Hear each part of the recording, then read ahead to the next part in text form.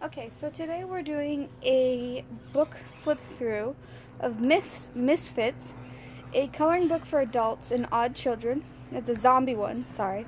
A zombie coloring book for adult children, adult and odd children. This is number two. So there is a first one. Art is by White Stag. Down here. This is the first page. So we got a lovely grayscale of one of the pictures.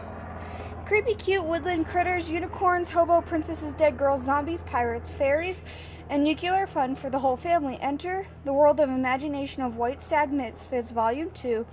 It is a collection of 27 images taken from White Stag's arts featuring zombie girls and other critters to color for adult and odd children. This book contains two repeat pages, features zombies from 1 and 25 from volume 1 and 25 brand new spanking images.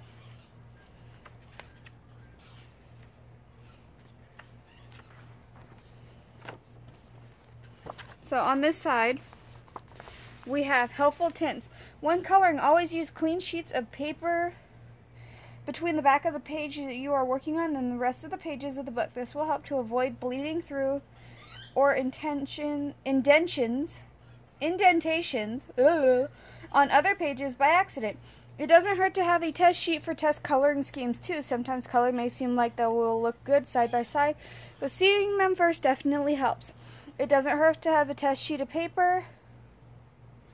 Always test pens and markers before you might uh, before using. You might find clogging or drying markers can quickly ruin an image you are coloring and nearly impossible to fix. Make sure to keep color pencils sharp. Don't forget to take your time. Remember, there are no wrongs. Have fun, spank it with glitter, give it a bow, or ignore the rules and color outside the lines. So, first we have a dead unicorn, which is called Toxic Rainbow.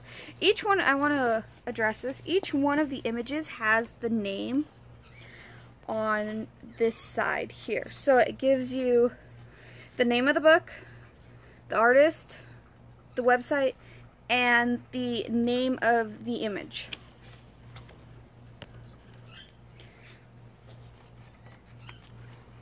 And they're all one page, they're all one-sided, so you don't have to worry about getting it on the other side.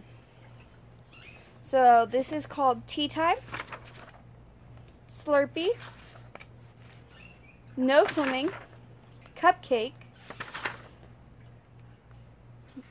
mine, my Vera, Lucy, Teacher's Pets, Hazardous Material, Melanie, Genevieve, Genevieve, Little Slugger, Zipper,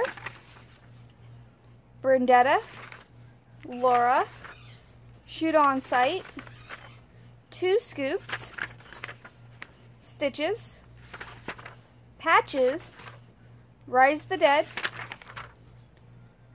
Le Leverna, Levenera, The Princess and Her Stitches, Dead Crossing, Sparkles and Stitches, Food Service, The Meadery, Wilma, Wilmina, Wilmina, and the last page. The images of these books were taken from my original paintings or original concept ideas, possibly going to paint them in the near future. Throughout the years, I have painted so many zombies, eventually spinning off into their own world in a series calling them Asylum Park. So they got the first Misfits book here, which is number one. Um, healthy medley of hobo princesses, fat cat, sailor girls, and more. You can uh, follow them on social media, which is all down here. I will try and link it all in the bottom box for you. And then, last page is a grayscale photo of Fort Aristotle. Here, let me refocus. You go. And that is the back of the book, which gives you a preview of the images in the book.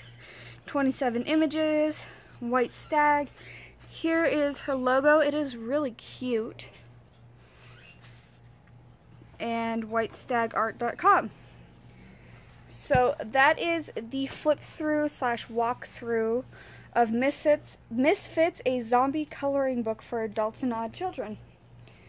So please give this video a thumbs up if you like zombies and you are zombie obsessed because I certainly am.